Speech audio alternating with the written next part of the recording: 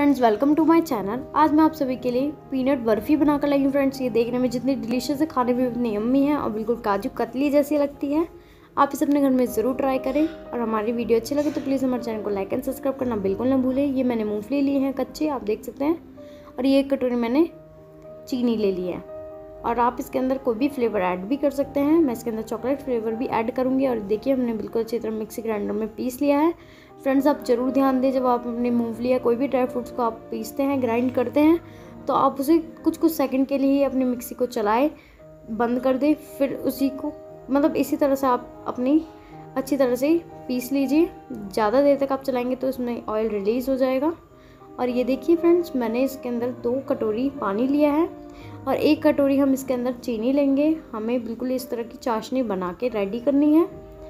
ये देख सकते हैं, मैंने एक कटोरी चीनी ली है तो दो कटोरी पानी यूज़ किया है। अब इसको अच्छी तरह से अपनी चीनी को, जब तक हमारी चीनी डिज़ोल्व नहीं हो जाती है, तब तक कि इसी तरह से हम इसको चलाएँगे थोड़ा सा अब देखिए, हमारी चीनी डिज़ोल्व हो चुकी है तो आप गैस की फ्लेम को ऑफ़ कर दीजिए। और इसके बाद अब मैं इसके अंदर जो हमने पाउडर बनाया है मूँगफली का, वही पाउडर मैं इसके अंदर डाल दूँगी। देख सकते हैं आप इसमें से बिल्कुल भी ऑयल रिलीज़ नहीं हुआ है तो इसी तरह से आप मिक्सी को चलाएँ, कुछ सेकंड के लिए चला के बंद कर दीजिए, फिर चलाइए। इसी टाइप से आप कंटिन्यू कर लीजिए, बिल्कुल भी आपका ऑयल रिलीज़ नहीं होगा। और देखिए मैंने इसी तरह से, पूरा अच्छी तरह से आप इसमें डाल दीजिए अपने मूँगफली का, जो आपने पेस्ट बनाया है। इसी तरह से हम फ्रेंड्स आप देख ही सकते हैं। काजू कतली बनाते हैं और ये चार चम्मच के करीब मैंने इसके अंदर मिल्क पाउडर यूज़ किया है। आप मिल्क पाउडर कोई भी ब्रांड का यूज़ कर सकते हैं। और देखिए, बिल्कुल भी लम्स नहीं बचे हैं। तो अब आप गैस की फ्लेम को ऑन कर लीजिए। लो मीडियम पे ही आपको बनानी है ये बर्फ़ी। और इसके अंदर दो चम्मच के करीब मैं घी डाल रही हूँ। ये घर का घी ही यूज़ कर रही हूँ फ्रेंड्स मैं। आप की ऑप्शन है कि आप एक चम्मच भी घी डाल सकते हैं। इसमें घी बहुत कम लगता है फ्रेंड्स। और देखिए, इस तरह से आप इसे बनाते रहिए। बिल्कुल अच्छी तरह से हमें एक खोआ फॉर्म में इसको रेडी करना है।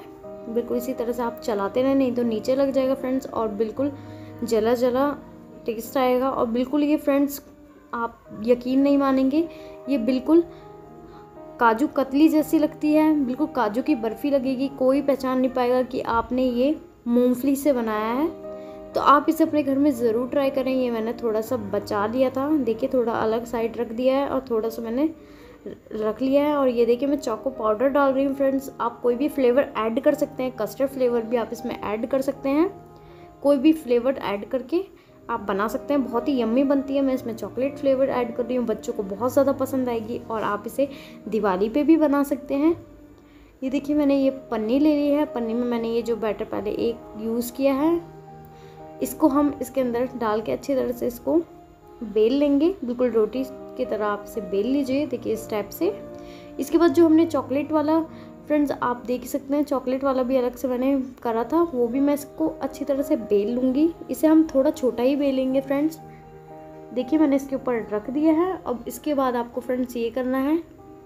इसको इस तरह से, देखिए, थोड़ा सा बाहर निकल गया तो आप इसे अच्छी तरह से अपने हाथ से ही फैला लीजिए इस टाइप से, और थोड़ा सा हम इसे बेल लेंगे, जिसमें ये अच्छी तरह से सेट हो जाए।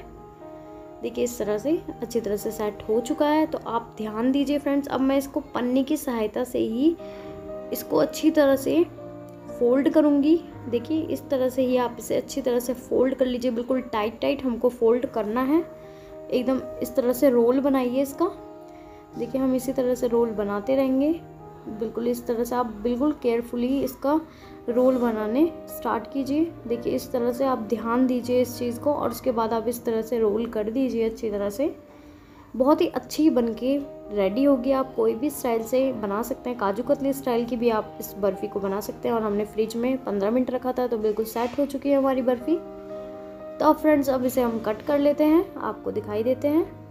देखिए, हमने इसको कट कर लिया है। दोनों तरफ़ से और मैं इसमें चांदी का वर्क लगा रही हूँ। ये बिल्कुल ऑप्शनली है, आपको पसंद हो तो आप चांदी का वर्क लगा सकते हैं। नहीं तो आप ड्राई फ्रूट से भी इसको ग्रीस करके खा सकते हैं और बिना ड्राई फ्रूट के भी आप इसको बना के ऐसे खा सकते हैं फ्रेंड्स बहुत ही यम्मी डिलीशियस लगती है, एकदम काजू कतली जैसी लगती है और हलवाई स्टाइल की बनाई है। और देख सकते हैं इसमें चॉकलेट फ्लेवर भी बहुत अच्छा लगता है।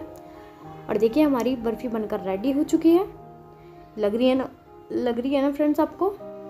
बिल्कुल रेस्टोरेंट स्टाइल तो आप इसे अपने घर में ज़रूर ट्राई करें और बहुत ही ज़्यादा सॉफ्ट है, एकदम मुँह में घुल जाएगी फ्रेंड्स अब जब आप इसे अपने मुँह में खाएँगे। और देखिए, हमारी बर्फ़ी बनकर रेडी हो चुकी है। आपको हमारी वीडियो अच्छी लगे तो प्लीज़ हमारे चैनल को लाइक एंड सब्सक्राइब करना बिल्कुल ना भूलें।